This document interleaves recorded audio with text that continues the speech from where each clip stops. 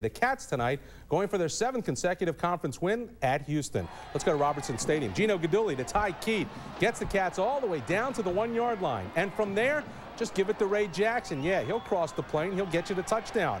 Meanwhile, Gino with this pass, the tip here, watches it turns into an interception. 35-yard return by Jason Parker. Houston up 11 in the fourth, but the Cats come back and win it, 29-28. Let's go to Athens. Hey, did you hear?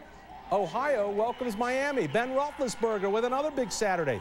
Hits former Highland star Randy Stegman, who scores his first collegiate touchdown. Then it's Big Ben to former St. X star Michael Larkin. Oh, this is a sweet catch for the touchdown. Roethlisberger ties a school record with five TD passes, hooks up with last week's hero Eddie Tillitz. The Hawks win it 36-24.